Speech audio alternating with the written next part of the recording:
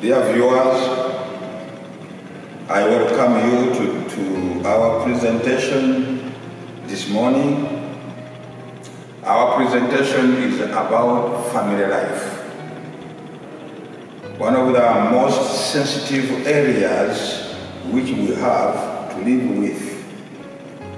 And you know very well as uh, a Christian, we all, all of us believe that the devil is fighting very hard this particular institution. And we need as much information on this institution as we can get from every angle. It is very good that we need to pay attention to many voices which are very constructive concerning this particular institution. It is not something you walk into and you think that you are done. It is something which you commence with a lot of learning, listening, and changing your old ways to make sure that uh, marriage lasts and it continues on and on. We have presented a lot of uh, marriage seminars and many of the young people, even the old people, confess a lot of problems, issues, and uh, insurmountable issues which always keep on arising in their own homes. But I would like to, to begin with a verse, since all of us, I assume that many of us who may be listening are Christians. This is found in Ephesians 5 verse 21. Ephesians 5 verse 21 is not a very common verse for many people to always quote. They enjoy verse 22, 23 and onwards. But verse 21 is a very clear verse which has generated a lot of, of controversies. One of the biggest controversies which you will find on that particular verse is about the author. Was the author really a Jew? Because the verse says, submit to each other. That statement alone is a very profound statement to be written by a Jew.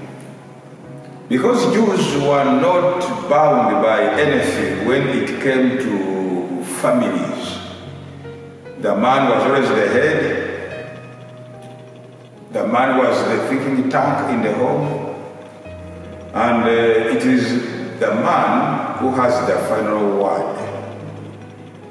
The wife was always the listener and the follower, not the initiator of anything as far as the Jewish culture was concerned, at least in, in those days.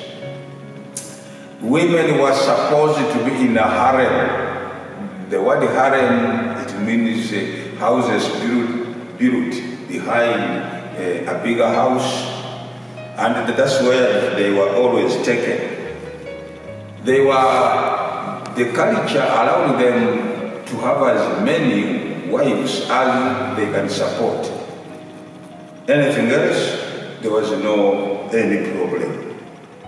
And uh, the culture allowed them to divorce anytime they felt that they are tired of any woman or any wife in their compound. And, they, and by divorcing, they only wrote on a piece of paper that I divorce you. So Jews with the family, they, it was very fluid, you know. It was not something so profound. When God, of course, came to reveal himself to, to humankind, he knew very well that culture has taken root in some of these uh, sacred institutions. And he knew that it, it would be a tussle and a war for humankind to change gradually, slowly, and slowly to an acceptable element or place in the family. That's why he was very patient, by the way. He was very patient with the patriarchs. They, they were polygamous, but he, he, he, did not he, he come in so strongly and then says, don't be. He was very patient. He worked with them carefully, slowly, until some years will pass. And by the way, when I say some years, it took almost 4,000 years for God to pronounce himself on that very issue. Until Jesus came. In the book of Mark, chapter 10, that's where we find him pronouncing himself to the marriage institution. Telling everybody who was listening that uh, a marriage institution is very sacred, very holy by the way, a very delicate institution which catches God's eye very keenly and uh, in which God has a, very paramount interest. And he made it very clear that that's why it is written that a, a man shall leave his father and mother. Similar with a wife shall leave father, and mother, and they become one flesh. Now, there's nothing else which such a statement has ever been uttered. That you become one flesh, one flesh. Unfortunately, we, our wedding culture is not the one which always responds quickly to, to the word baby. But the only flesh which can be one is only that one of a husband and a wife. It is that important. There's nothing else as important as a family institution. And, and it has been emphasized that whatever God has been has put together, let no man put asunder.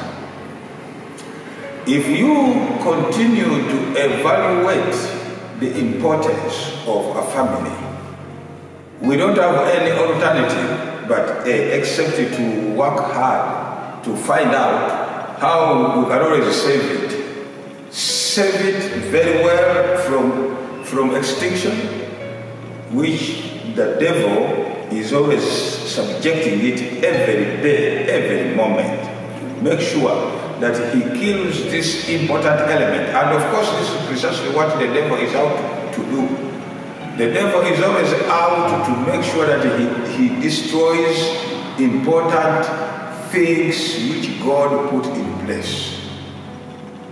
And whatever you see an institution under attack, under serious attack, then you can know that it is a very important institution.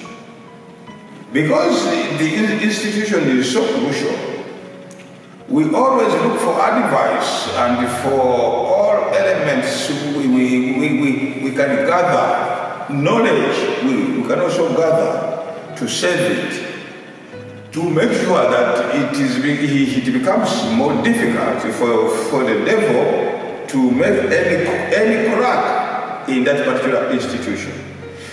And my presentation now is about a big heading is called How to Liven Up Your Marriage. How to liven up. You see, if it is almost to die, it is slumbering, it is almost to, to be suffocated by some forces. This uh, lecture should at least help us to resuscitate, to wake up, to make it live again. In simple terms, it says how to make your family live again. You see, how your marriage to live again to make sure that it can stand on a solid ground, that even if the devil shakes everything, you can survive. How to live you see, up your marriage. Now, I have subdivided three subdivisions in, in my presentation today.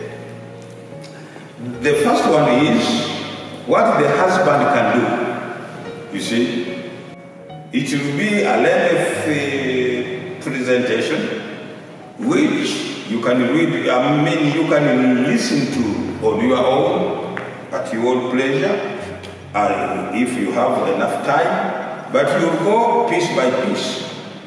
What the husband can do